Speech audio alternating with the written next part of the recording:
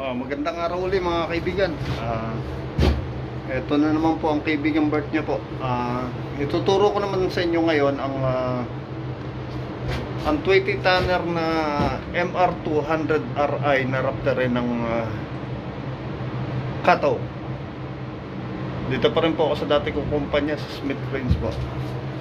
Ah, ito po yung binubuhat namin kadalasan dito. Yan po, ito, ito, itong box na to. Yan po ay man cage na may 6 person capacity. At uh, dito po tayo. Ito po yung mga way of communication namin yan, radyo. Tapos ayan po yung crane na ginagamit namin. Ayan. Yan po siya. Ayan.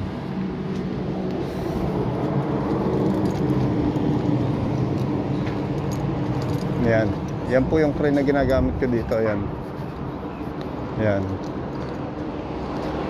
Nasa yun po. Ayan. Dito po namin inilalaglag yung yung man cage dyan sa butas na yan. Ayan. Ayan. Ngayon po, ituro ko na po sa inyo ngayon kung paano po i-operate itong uh, Raptor rin ito. Ito pong Raptor rin ito is uh, hindi naman po kahirapang gamitin. Isiset nyo lang po yung computer nya. Ah, halimbawa po ito. Yan po, ayan. Ayan, nakapatay pong ganyan. I-on mo lang po muna, ayan. Pag naguna siya ng at tumunog na po ng dalawa, tatlong tunog, start mo na po. Ayan. Ayan, start na siya. Lalabas na yung system check na yan, ayan. Tapos ito, bababa ko na to. Ayan. Ito yung boom down main hook tsaka maliit na hook tapos ito yung swing nya tapos ito yung extend nya extend retract ng boom nya pag ito lang ang tinulak mo hahaba yung boom na yun ayan, hahaba yung first two section na yan. Pero pag sumagad na pag sumagad na yung first two section pipindutin mo lang to nasa gilid tsaka mo itutulak para lumabas yung last 3 section sa dulo ayun pero habang tinutulak mo siya dapat inaarya mo rin o binababa mo rin yung malaking kalo tsaka yung maliit na kalo. Yun. Ngayon ito po yung driving driving nya sa Raptorin yung forward neutral reverse. Yung drive yun yung forward tapos neutral tapos reverse. Bibigay mo po ito bago mo ipasok yun. Then pero ang una mong gagawin is i-retract mo muna yung boom na yun. Tapos ititiklop mo muna yung trigger na yun. Ngayon pagka halimbawa pini, piniga mo na to sinarado mo first 3 section tapos bitawan mo yung pagkapiga kabigin mo uli ito para sumarado yung last two section. Kaya pagka nakasarado na eh, ito namang outrigger ang gagalawin mo. Nandun naman sa gilid yung control nya nandun sa gilid. Okay, pakita ko po sa inyo maya maya pagbaba ko ng crane. Ngayon pagka halimbawa nakatiklop na po lahat ito nakatiklop na siya lahat pag nakatiklop na siya lahat ang gagawin natin is uh, pipindutin natin ito ito i-unlock natin yung suspension niya para tumaas yung katawan niya bumaba yung gulong niya. Tapos uh, bubuksan mo ito itong park brake. Tapos ta-travel ka na. Ito ilalagay mo sa drive o sa ano sa neutral or reverse. Tapos after nun kung malaki ang liko na gagawin mo o kailangan mong mag-atras abante na mag-adjust ka ng sasak ng crane ito yung gagalawin mo ito. Steer ito. Mas madali siyang iposisyon. Ito yung pang crab niya. Ito lahat ito.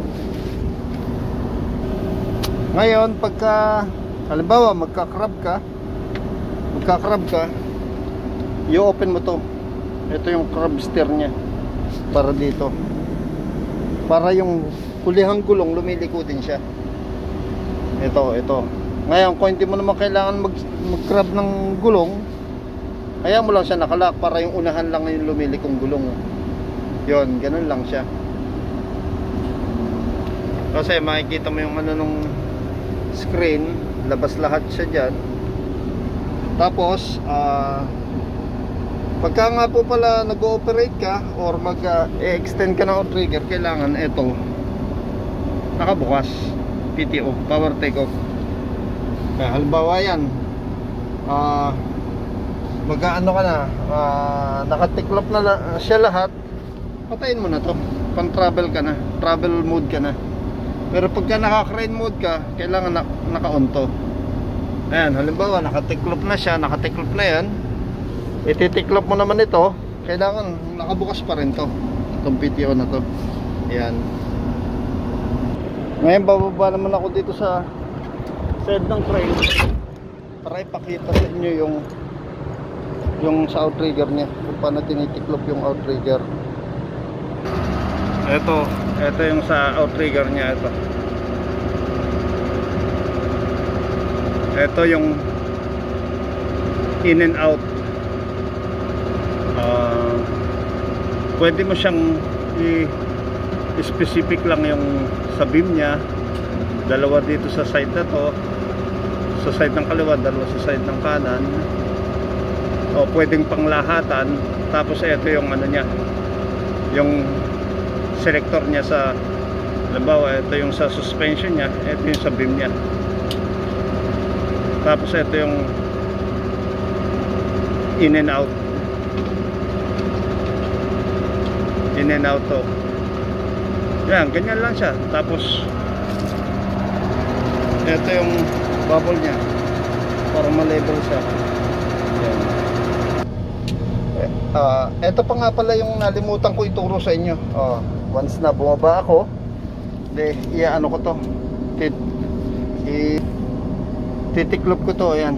Para maka para makadaan ako sa pinto palabas